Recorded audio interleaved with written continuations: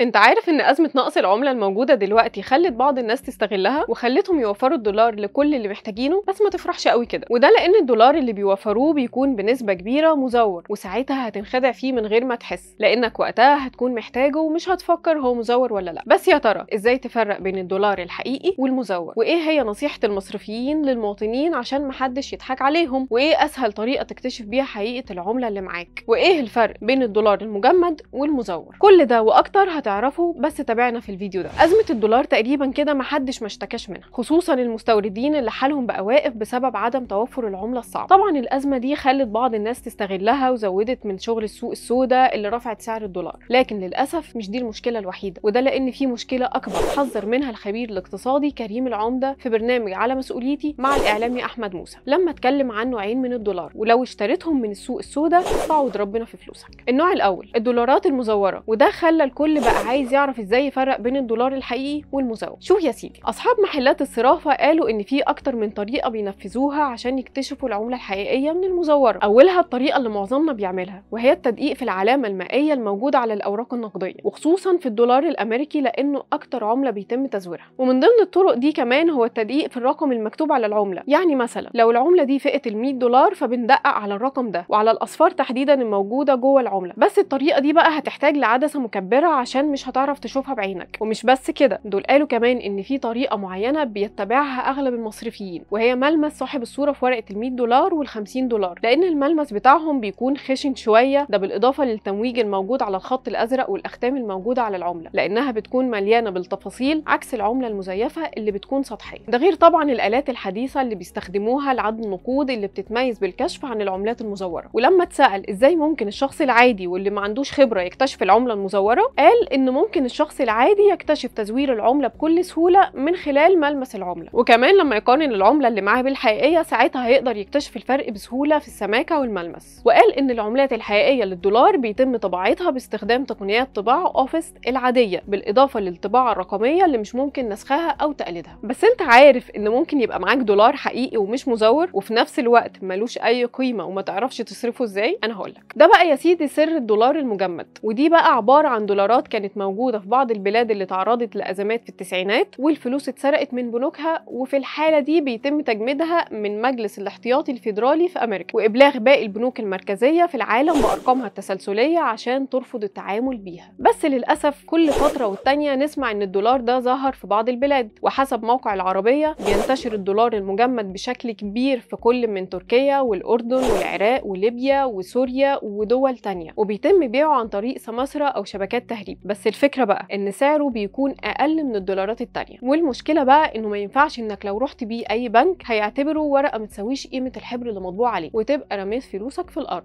وصحيح ما سمعناش عن الحكاية دي كتير بس الخبير الاقتصادي كريم العمدة حذر منها. وعموما شراء أو بيع العملة عن طريق السوق السوداء مخالف القانون وممكن يعرضك لمشاكل كتير جدا. فخلي بالك كويس قبل ما تغامر بفلوسك مع أي حد.